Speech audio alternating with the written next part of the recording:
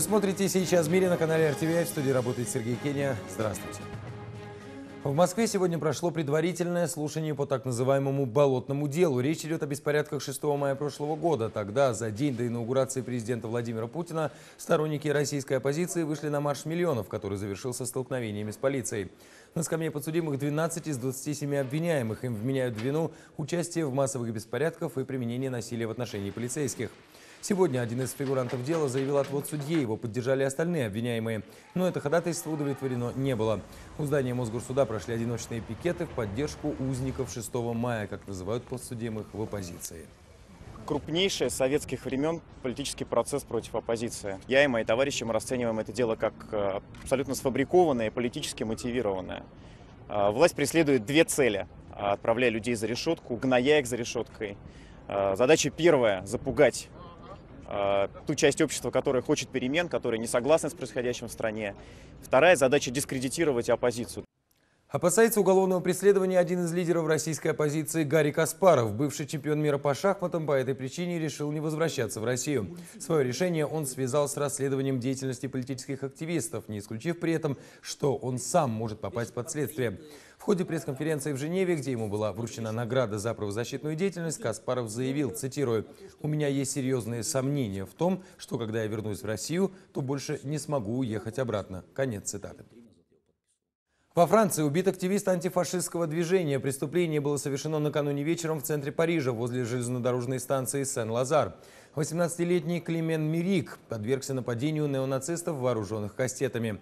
По словам очевидцев, драке предшествовала ссора. Мирик был студентом одного из самых престижных высших учебных заведений Франции – Института политических исследований. Сегодня его однокурсники и десятки других молодых людей устроили у здания вуза стихийную акцию протеста.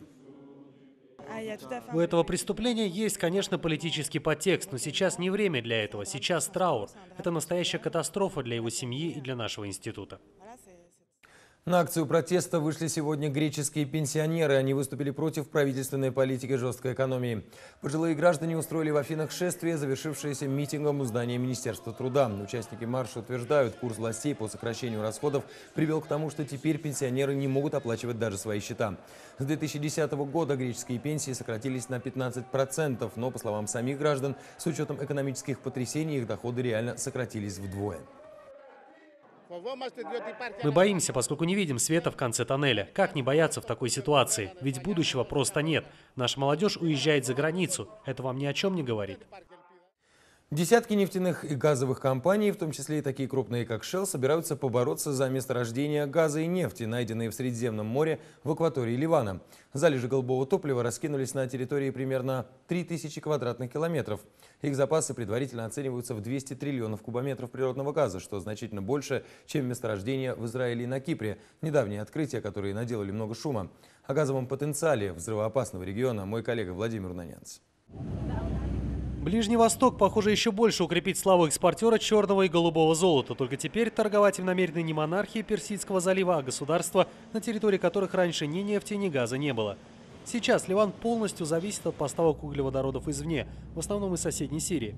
Первые скважины, надеются специалисты, будут пробурены уже через пять лет, а к концу десятилетия прогнозируют в Министерстве энергетики и водных ресурсов Ливана, добыча нефти должна превысить 90 тысяч баррелей в сутки.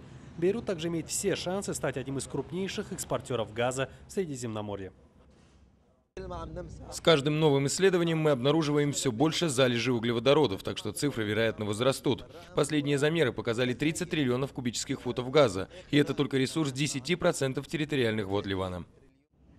Открытие крупных месторождений нефти и газа у побережья Ливана вызвало самую настоящую сенсацию в среде нефтяников. Британская геологоразведочная компания «Спектрум» обнаружила гигантские запасы природного газа на границе с Израилем. В нынешних ценах стоимость такого объема голубого топлива может составить около 40 миллиардов долларов. Представители «Спектрум» заявляют, что ливанская находка по своему объему существенно превышает запасы, ранее обнаруженные близ соседнего Кипра. Теперь мы намерены исследовать северную часть Ливанской акватории. Здесь мы рассчитываем обнаружить от 20 до 30 триллионов кубических футов газа. Таким образом, в общей сложности ресурсы должны составить до 80 триллионов футов. Это очень перспективно для нефти и газодобывающих компаний. Ливанский шельф является одним из немногих действительно неисследованных районов, который обещает богатую добычу. Генеральный секретарь Мирового энергетического совета Руди Баруди считает, что запасы нефти и газа в Ливане в потенциале даже больше, чем сумел обнаружить «Спектрум». По его словам, только нефти страна сможет добывать около 90 тысяч баррелей в сутки на протяжении 20 лет. Прежде Средиземное море считалось территорией бедной углеводородами. Однако в последние годы в восточной его части было обнаружено несколько перспективных районов. В частности, немалыми запасами газа обладает шельф израильского побережья. Голубое топливо с месторождения Тамар уже начало обеспечивать потребности еврейского государства. На очереди еще более внушительный природный газовый резервуар – Левиафан. Владимир Унанянц, RTVI. Сейчас коротко о других международных новостях. Австрия выводит свой миротворческий контингент с голландских высот. Об этом сообщают местные СМИ, ссылаясь на источники в Минобороны. Военные из этой европейской страны составляют около 40% всех миротворцев в регионе. Ранее сообщалось, что голланды вновь подверглись обстрелу с территории Сирии. Турции в больнице скончался полицейский, пострадавший во время стычек с демонстрантами. Ранее сообщалось, что в ходе массовых беспорядков погибли двое протестующих. В списке пострадавших более трех тысяч человек. Антиправительственные акции проходят в Турции уже неделю.